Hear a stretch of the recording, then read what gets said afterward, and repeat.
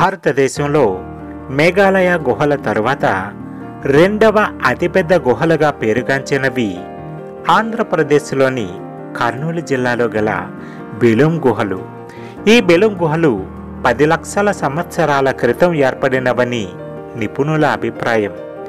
Daniel జేబోర్ నాయకత్వంలో గుహలకు సంబంధించిన German నిపుణుల బృందం పంతొమ్మిది వందల ఎనభై రెండులో బెలూమ్ గుహలను సందర్శించి ఇవి భూగర్భంలో పది కిలోమీటర్లు విస్తరించి ఉన్నాయని కనిపెట్టారు. ఈ గుహల్లోకి వెళ్ళే దారి బెల్లంలా ఉంటుంది. దాంతో వీటిని బెలం గుహలుగా పిలిచేవారని అదే పేరు కాలక్రమంలో బెలూం గుహలుగా మారిందని భావిస్తున్నారు. అత్యంత సహజంగా అతి పురాతన కాలంలో ఏర్పడిన గుహలు ఇవి. దేశ విదేశీ స్థానిక పర్యాటక ప్రదేశంగా అలరారే ప్రత్యేకతలు ఎన్నో ఈ బెలూన్ గుహల సొంతం. పొడవైన సొరంగ మార్గాలు జాలువారే శిలాస్ఫటికాలు రకరకాల శిలాకృతులు అడుగడుగున అబ్బురపరిచే అద్భుతాలు బెలూన్ గుహల ప్రత్యేకత. భూమికి ఇరవై మీటర్ల అడుగున ఉన్న గుహల్లోకి వెళ్ళేందుకు మెట్లు నిర్మించారు. బెలూన్ గుహల్లో నలభై ఆరు మీటర్ల లోతు కలిగిన ఏకైక ప్రదేశం పాతాల గంగ. బెలూం గుహల్లో ఒకటిన్నర కిలోమీటర్ల వరకు యాత్రికులు వెళ్ళగలరు. ఇందులో ఆక్సిజన్ బోయర్లు కూడా ఏర్పాటు చేశారు.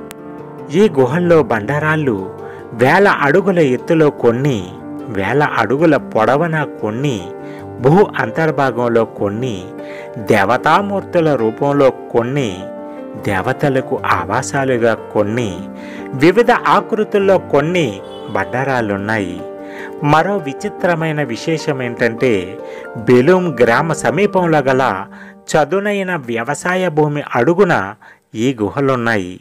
ఈ గుహలకు దిగుడు బావి లాంటి మూడు దారులున్నాయి. అసలు ఈ గుహలు ఇలా ఎలా ఏర్పడ్డాయి అన్న విషయాన్ని పరిశీలిస్తే చాలా సంవత్సరాల క్రితం భూ అంతర్భాగంలో చిత్రావతి నది చాలా ధారాళంగా ప్రవహిస్తూ ఉండేది. రాయలసీమ జీవనాడి అయిన పెన్నా నది యొక్క ఉపనది చిత్రావతి నది. చిత్రావతి నది యొక్క నీటి ప్రవాహ ఉధృతికి భూమిలోని రాళ్ళు రాపిడికి గురై క్రమంగా కరిగిపోవడం వల్ల ఈ గుహలు ఏర్పడ్డాయి. కానీ కాలక్రమేణా చిత్రావతి నది ఎండిపోవడం జరిగింది. చిత్రావతి నది ఎండిపోయిన తరువాత ఆ గుహలో బౌద్ధులు జైనులు నివసించారు అనుటకు రుజువుగా అక్కడ వారు వాడిన వస్తు అవశేషాలు లభించాయి. అవి ప్రస్తుతం అనంతపురంలోని మ్యూజియంలో పొందుపరచబడ్డాయి.